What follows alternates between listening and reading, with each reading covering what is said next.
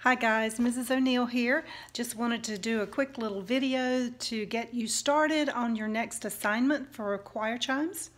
Um, there are two that you can choose from, so you just have to choose one. One involves a ukulele and the other does not.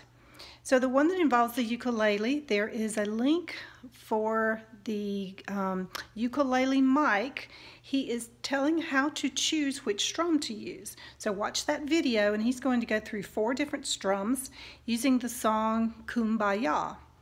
And so I want you to practice those strums just on that short song Kumbaya and then make me a video that shows that you can play using those four strums. Okay? And then if you choose the other assignment, the one that does not require a ukulele, that is called making a glass xylophone. So there is a video that shows how to make a glass xylophone. Now all it is, is you're going to find some glasses, some drinking glasses um, in your house. You might want to check with mom first and make sure, but hopefully they won't break. But you're going to fill each of them with different amounts of water and listen for the pitch to change. Now there are different ways of playing.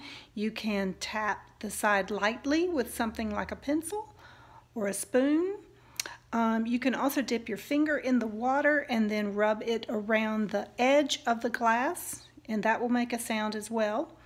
Uh, so experiment and see if you can make um, a number of pitches, a number of different sounds, musical notes, so that you can play some songs. Now, if you're really, really good and get, get them really pitched well, like in a major scale, you should be able to play some songs like maybe Joy to the World or Twinkle, Twinkle, Little Star, or something that uses just eight different tones if you, if you get them pitched right.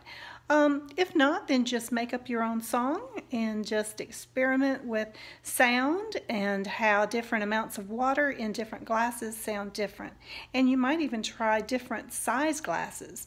Um, and just see how the different sounds are. So have fun with that assignment and send me some videos so that I can see what you have created. So you guys have a wonderful day and I will talk to you really soon. We'll have our Zoom meeting on Friday and instead of optional, I would like for everyone to sign on. So that would be Friday at 1.30. So we'll touch base then. Bye guys.